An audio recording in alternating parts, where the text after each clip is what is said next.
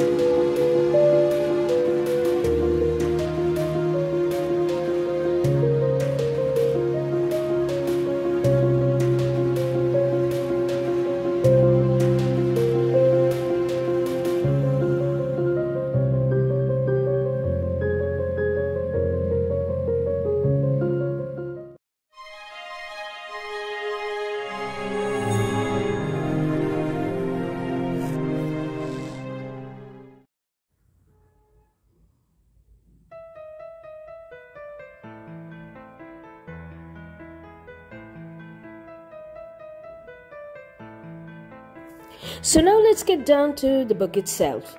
East Lynne is an 1861 sensational novel written by Mrs. Henry Wood, and I was listening to the BBC Radio 4 adaptation by Michael Bakewell with Rosemary Leach as the narrator, David Collins as Mr. Carlyle, Moya Leslie as Lady Isabel Vane, and Anthony Edridge as Francis Levison. The story begins in the countryside with a majestic estate called East Lynne up for sale on a private network of tentative buyers who could shed a good sum of money quietly for the purchase while adhering to all conditions, both legal and personal, as laid down by the current owner, Lord Mount Vane. Lord Mount was an old, well off man in the eyes of the public, but was suffering badly from ill health due to his disease called gout and was in dire need of a good sum of money to secure a humbler place to live with his only daughter, Lady Isabel Vane. East Lynne was not far away from the little village of West Lynne as far as location went. One fine day, a young, bright lawyer by the name of Mr. Archibald Carlyle called in to visit Lord Mountvain to buy the estate for himself, and upon settling with the final negotiations, the estate was purchased, and as per terms, Lord Mountvain and his daughter were the immediate guests residing at the estate, so that in the public view, Lord Mountvain was still the owner of East Lynne, but on legal papers it was actually Mr. Carlyle. Mr. Archibald Carlyle, the new proud owner of this beautiful estate, now met with Lady Isabel Vane and was smitten by her beauty at the first sight. Lady Isabel unaware of the dealings of her father and utterly innocent of the ways of the world, engaged herself with her neighbors and cousins and spent a good deal of time with them as she had lost her mother at a very young age and the elders amongst the neighborhood had a soft corner for her.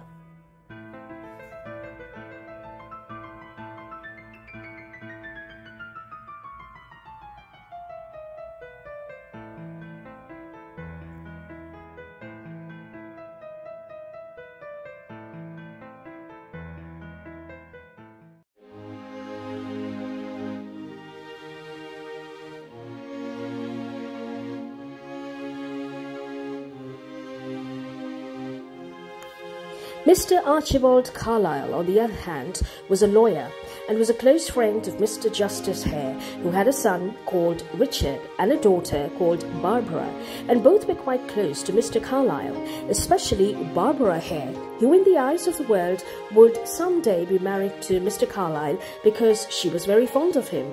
But on the sudden, unexpected demise of Lord Mountvain, which rendered Lady Isabel Vane a complete penniless orphan who had to bear the torment of a jealous cousin's wife, Mr. Carlyle lost no opportunity in proposing that Lady Isabel Vane be his wife and return to East Lynne as its mistress. This was received as a great shock by the entire West Lynne village, and Barbara Hare herself, as she mistook Mr. Archibald's friendship and goodwill for his future marital interests in her and was consequently devastated at the news.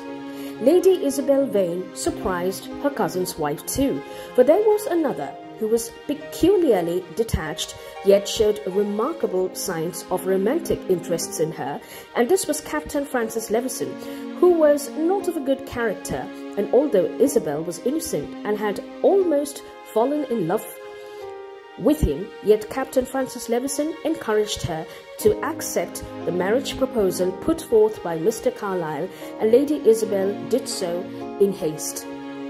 So, with a confused heart, with expectations of romantic interests brewing for Captain Francis Levison in the heart, yet in the mind firmly resolved to marry Mr. Carlyle, Lady Isabel finally returns to East Lynne as Mrs. Isabel Carlyle.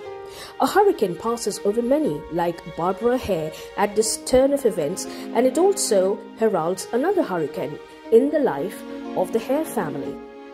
In the quiet village of West Lynne, the sudden murder of Mr. George Hallijohn, father to two daughters, Afy and Joyce Hallijohn, causes a stir and suspicions and rumors which arise all point towards Richard Hare, Barbara's brother, who was pursuing a romantic interest in Afy Hallijohn. But he was not the only one, though, and there was a mysterious Captain Thorn with a strange habit of hair flicking and a sparkling diamond ring on his finger, who was also present on the murder scene, and it seems that he was forgotten from everyone's memory. And although Richard Hare was innocent, yet he was a fugitive now, penniless, scared, and hunted by the police for murder. After being threatened by his own father and thrown out of his family, Richard meets Barbara secretly and keeps disguising himself to try and go unnoticed while trying to earn his bread for survival and hunting evidence to plead his innocence. Barbara thus turns to her close friend Mr. Carlyle and both agree to keep Richard's appearances undercover and help him in every possible way. Years pass, and Mr. and Mrs. Carlyle become parents to three children. Yet, Isabel's health starts faltering, and so she is advised by their family doctor to move to a sunnier place for recovery. Archibald's elder sister, Cornelia, who had already started living in East Lynne to manage the home front, since the time of marriage encouraged the change, and so Isabel left her children in the care of Miss Cornelia Carlyle and her handmaid Joyce Hallijohn, one of the daughters of the murdered victim. While in recovery, Isabel crosses paths with Mr. Francis Levison again, who is in great debt and has thus run away from West Lynne to escape his pursuers. And although Isabel remains in the perfect, peaceful sanctuary of being a good wife, as Mrs. Carlyle in approach, heart, and soul towards Mr. Levison, yet it is Mr. Levison now who sways her heart with confessions of his ardent, beating heart for her, and this confuses Isabel even more. Isabel suddenly longs to return with her husband, Archibald to East Lynne, and older Mr. Carlyle does make a visit, for he is away uh, for business, yet he, being unaware of the romantic persuasions of Mr. Levison for his wife, encourages both to be together as Isabel's health does show visible signs of healing. Thus, Isabel tries to set a boundary and waits to return to East Lynne to uh, her husband and children.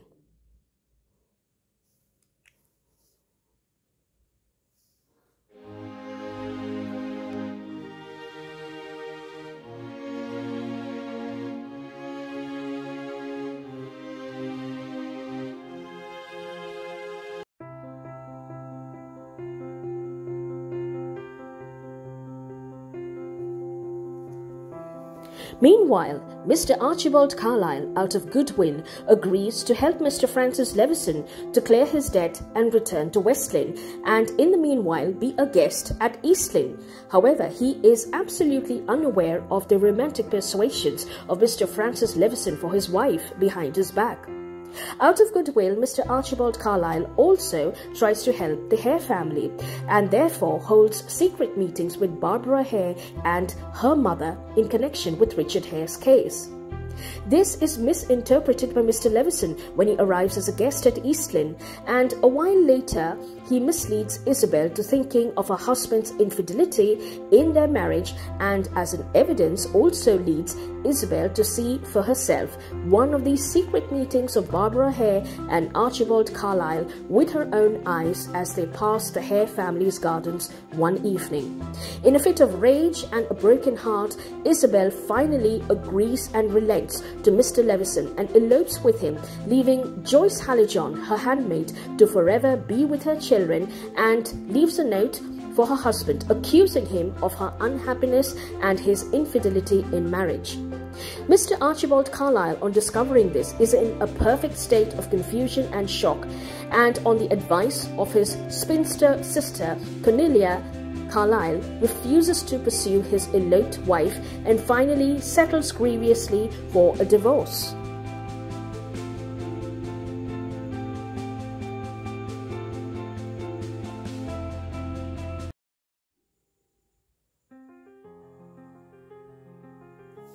The divorce between Archibald and Isabel is complete within a year, and Isabel, now living with Francis Levison in Europe, bears his unborn child, awaiting Levison to marry her as soon as the divorce is complete.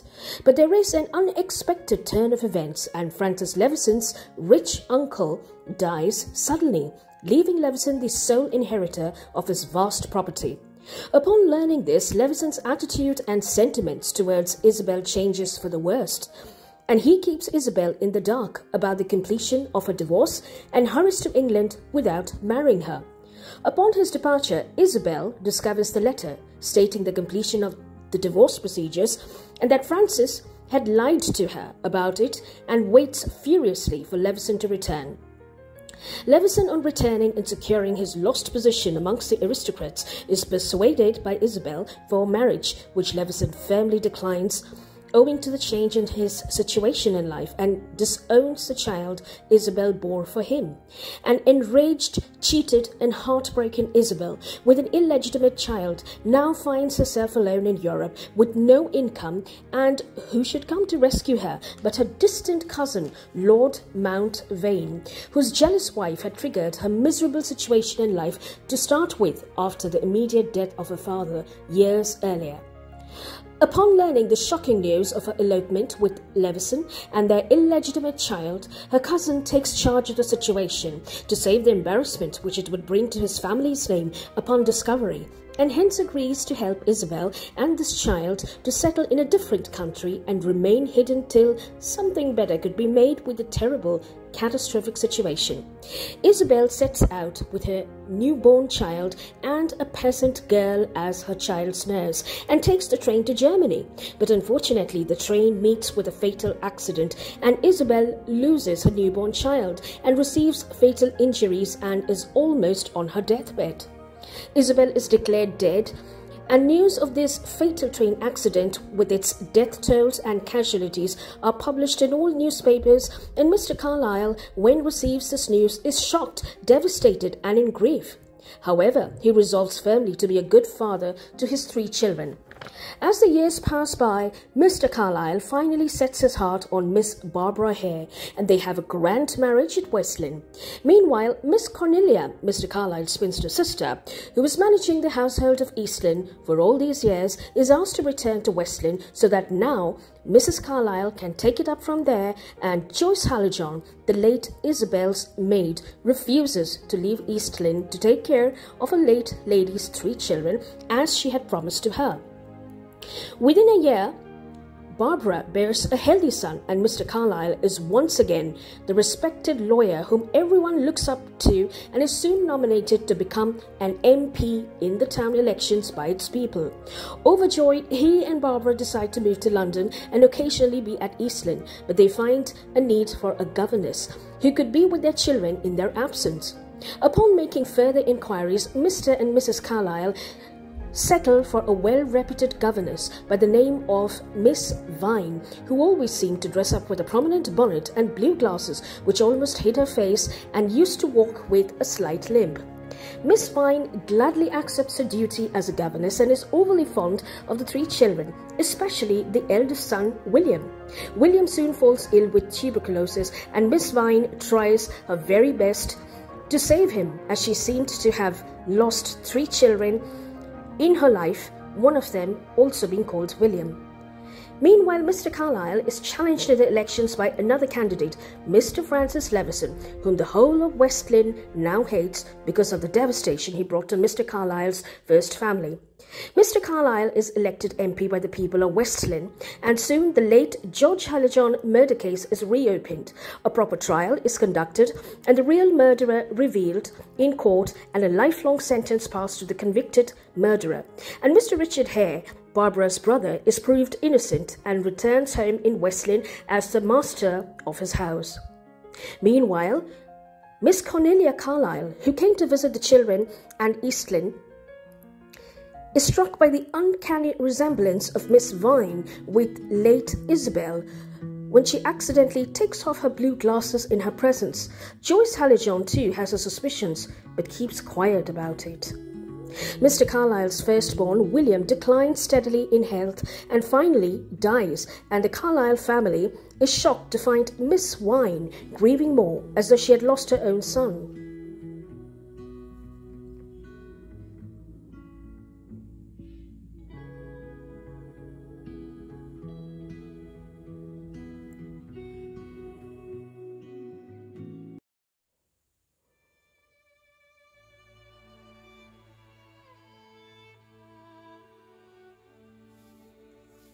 After the death of William, Miss Vine's health declined steadily out of depression and she refuses to accept any medical aid from the Carlyle family. However, one evening when she was extremely sick, Joyce discovers her without her bonnet and glasses and cries out in astonishment. For Miss Vine is none other than her former lady, Lady Isabel Vane, and though now her once beautiful face was disfigured and she had received severe injuries from the fatal train accident, Isabel makes Joyce promise not to reveal her identity to the family, for she had started earning her living as a governess in Germany. But when her pupil was married off early, she had to secure another job immediately, and this had brought her to the Carlyle's offer for a governess. And being a mother of three children, she could no longer keep away from her three children and hence had to take up the job. However, after a few days, when Isabel, now Miss Vine, is surely on her deathbed, finally reveals her true identity of being Lady Isabel Vane to the Carlyle family, and Mr. Archibald, her former husband, is shocked to the core, along with his wife Barbara, but Isabel only asks for his forgiveness and accepts death in peace. Barbara and Archibald console each other after the shock, and Barbara finally is at peace to learn that Archibald finally finds his true, sincere love in Barbara and Barbara alone. So that is the plot of this fantastic story, and I thoroughly enjoyed it. Do let me know your thoughts. And with this, we arrive to the end of this video. If you enjoyed the story, do please leave a comment in the comment section below and also leave a like for this video. And I'll be back next week with another video. So till then, take care, have a good reading week ahead, and namaste.